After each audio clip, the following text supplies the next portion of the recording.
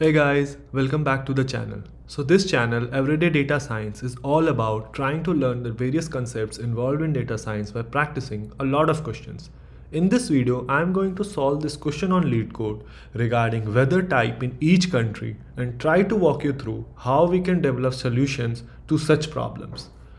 This question has been asked in an interview called of Point 72 in the last couple of years. Okay, so let's jump right in. So we are given a table called countries with two different columns, country ID and country name, where country ID is the primary key for this table. Each row of this table contains the ID and the name of the country. Okay. We are also given another table called weather with three different columns, country ID, weather state on a particular date, right? The combination of country ID and day is the primary key for this table. Each row of this table indicates the weather state in a country for one day. So for a particular date, what was the weather state? We are asked to write a SQL query to find the type of weather in each country for November 2019. So we are given a particular duration in which we need to calculate the type of weather. And the definition of type of weather is if the average weather state is less than equal to 15, then it is cold if the average weather state is greater than or equal to 25, it is hot and warm otherwise. So basically, if the average weather state is greater than 15 and less than 25, then it is warm. Return the results in any order. Let's go through this example. So here we are given the countries table, so country ID and the name of the country, and then there's here is the weather table, right?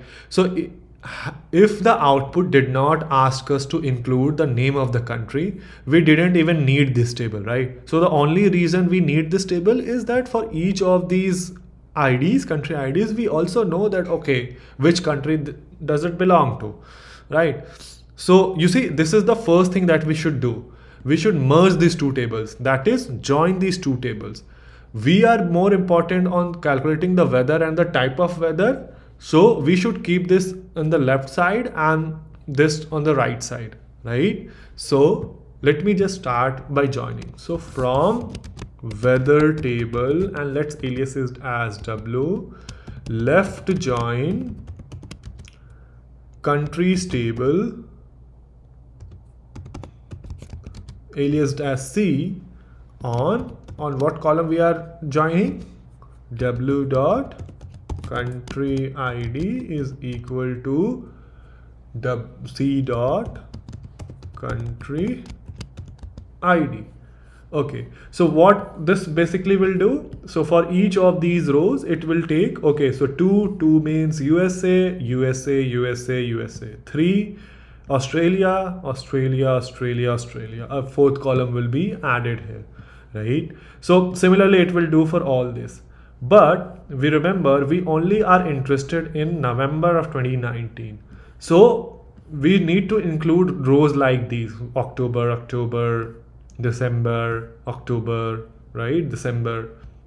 So things like that. So we filter out some of the rows. So where the month from the day column should be equal to November that is 11 and the year from the day column should be 2019 right? So this will exclude all these kind of rows.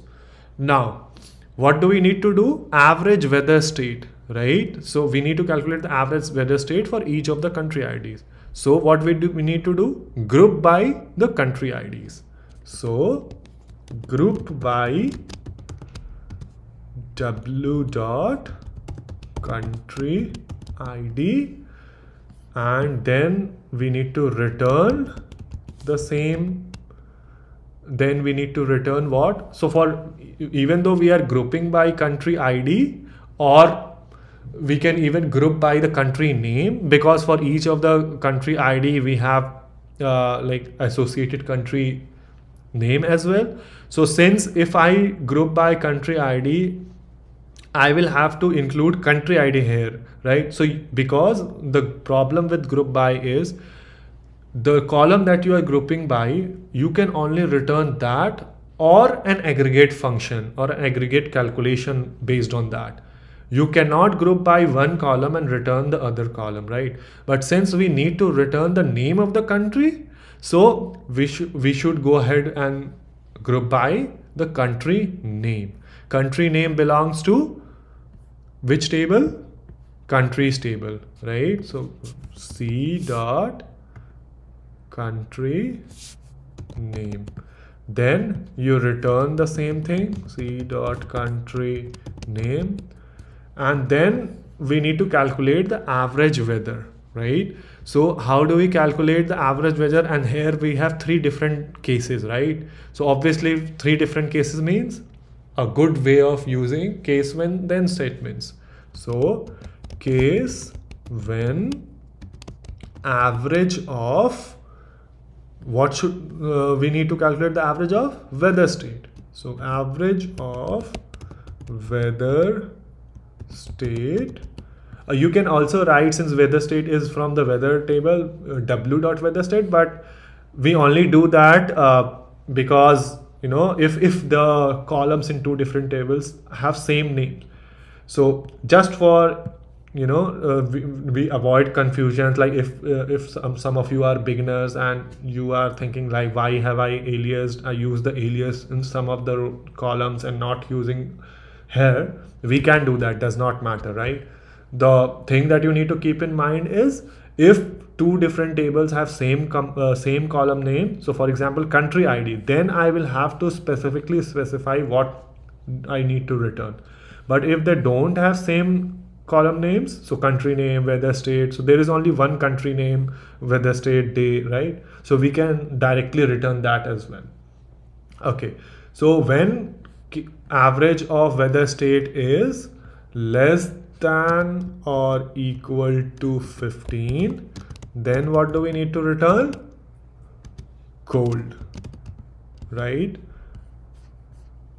Second case is when average of w dot weather state is greater than equal to 25 then it is hot warm otherwise. So else warm.